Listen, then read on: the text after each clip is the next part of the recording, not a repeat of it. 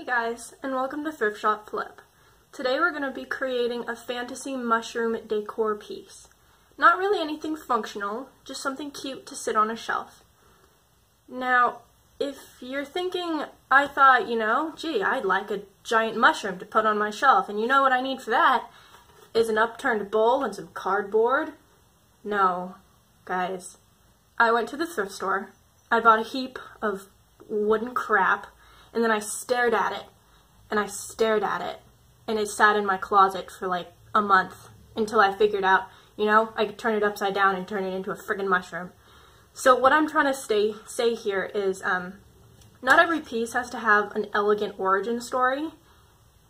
It's alright, as long as it turns out in the end, or sometimes it doesn't. Things aren't always tidy. Um, so really all we're going to need for this is an upturned bowl, a piece of cardboard, some tape, some paint. That should do it. Let's get started.